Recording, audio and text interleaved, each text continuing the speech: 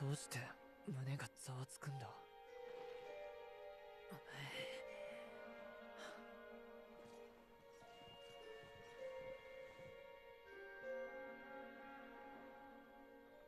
あれほどの大惨事の後じゃクレイモラン城もただでは済んでおるまい。シャール女王の安否を確かめたい。聖地ラムダへ向かう前にここクレイモランの城。皆の者は城下町の様子を見てきてくれんか。ん？どうしたカミュひどい顔色じゃ。いえ俺なら平気です。街の様子を見てくればいい。うん。いや無理するでない。記憶もない中一人ですみませんローさん お主らしくもない気にするな。では。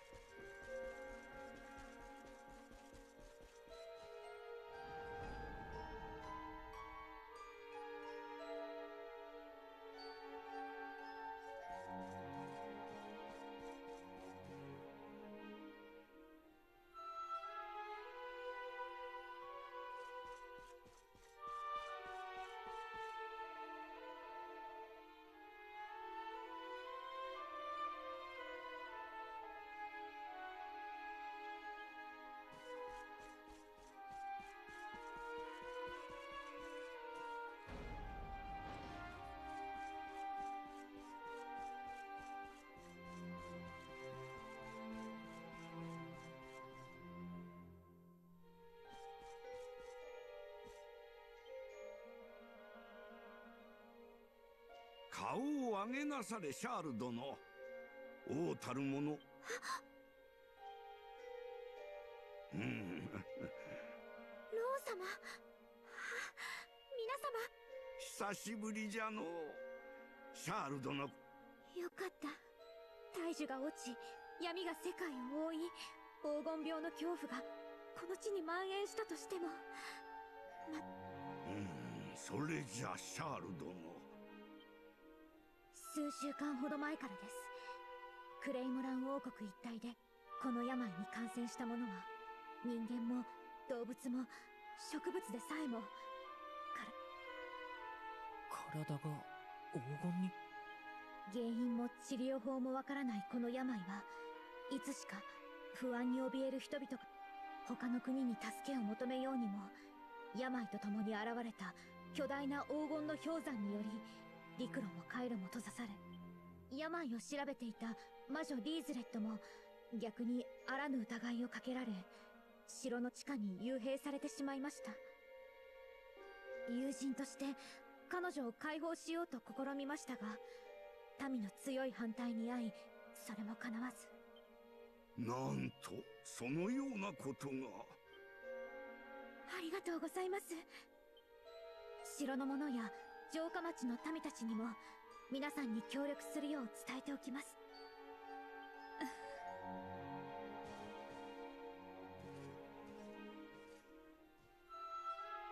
黄金病。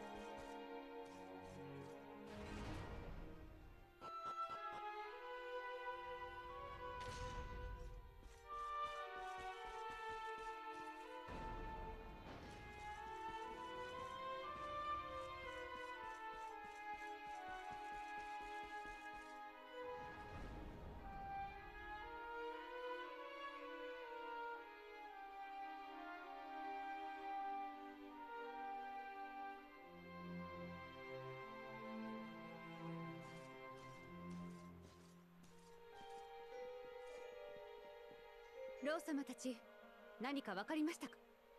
うん詳しくはわからんがシャール殿が言うにはな、うん。おおそこ行くご婦人。な、なんだいお前さんたちは。こんなとこでぼさっとして体が金になっても知らなちょっとお待ちお前さんもしか俺のこと知ってるんですか？はあお前さん忘れちまったのかい？知ってるも何もお前さん。う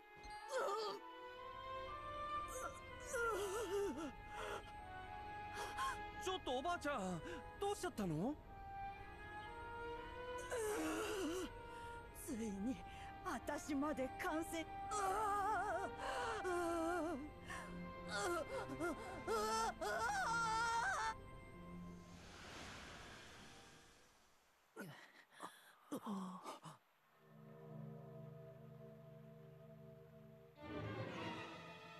んてこと。これが黄金病だ。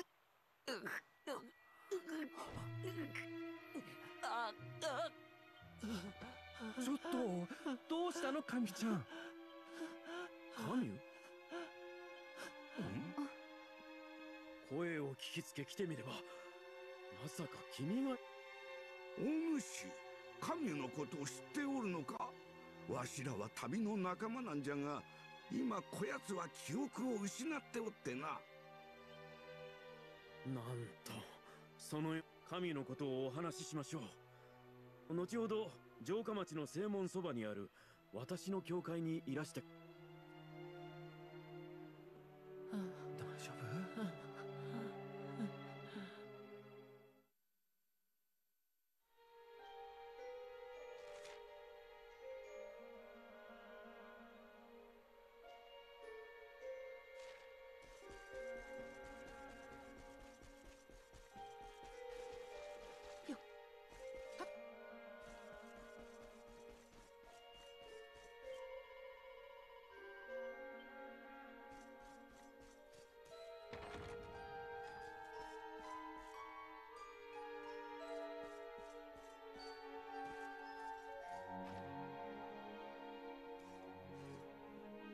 よく来てくださいました。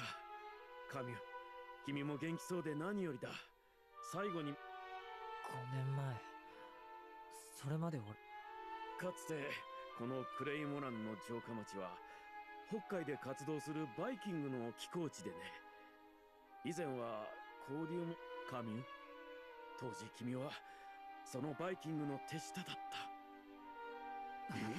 俺がバイキング？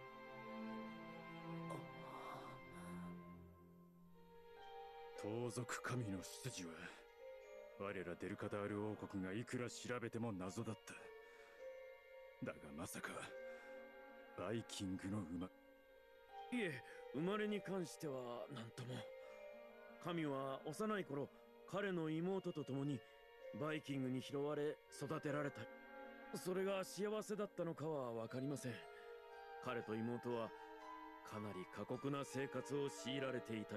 実際ある日彼の妹が亡くなったという知らせを受けその日を境に彼もまた姿やめろ。神父として彼らを救えなかったことは心残りとして私の中に残り続けました。ですからやめてくれ！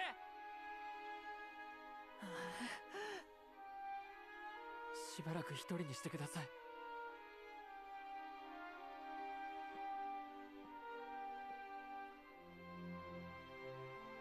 すみません。彼の気持ちも考えず。皆さん神を頼みます。私も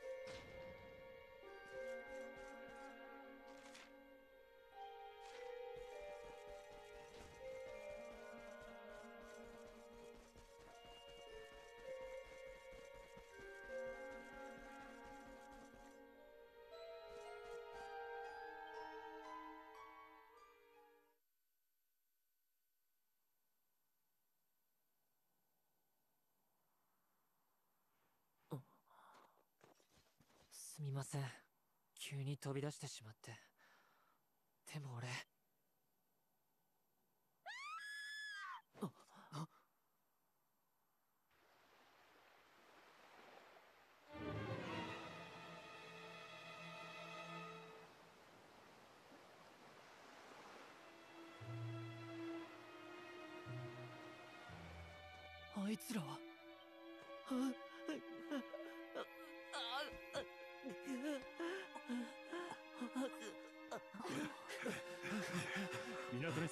船を見たか先ほどの叫び声といい。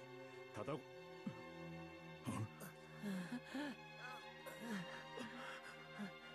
神のことは私に任せてください。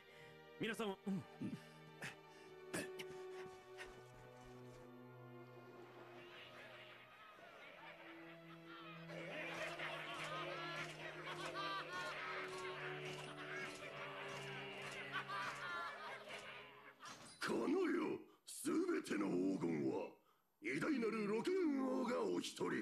敵さあ野郎ども仕事の時間だ。宝石だろうが人間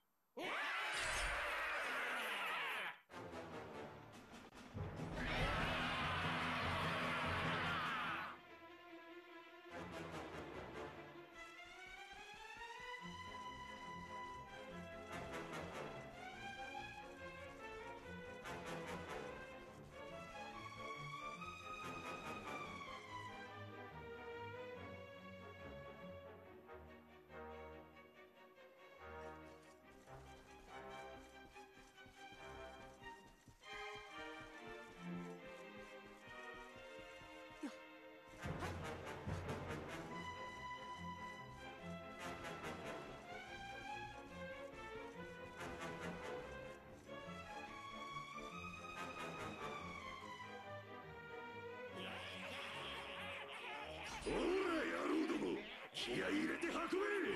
キラゴルド様がお待ちだぞ。この魔物たち黄金像となった人間を持ち去。うん貴様ら何のつもりだ？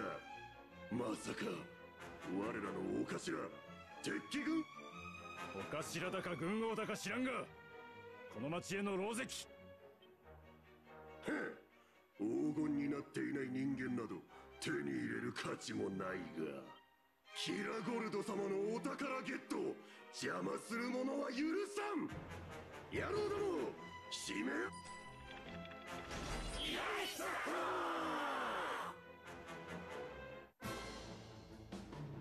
野郎ども行くぞ。来る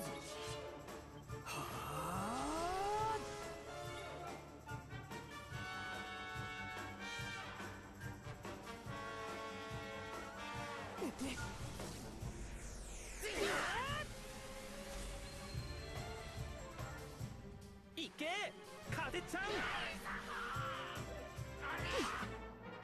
パワー全開闇の力よ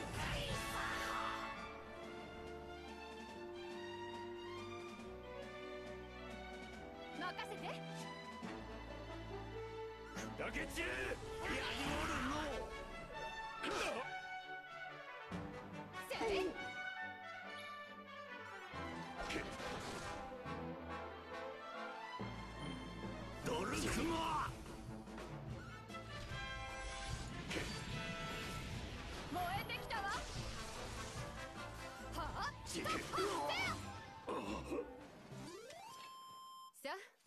行きましょう。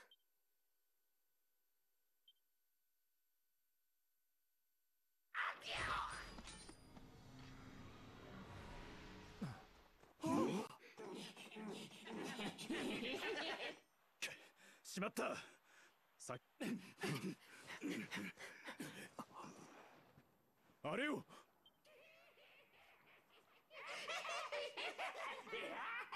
カミュちゃん。ちょっとなんでわからん。だが今は理由を考えるより奴らを止めなければ。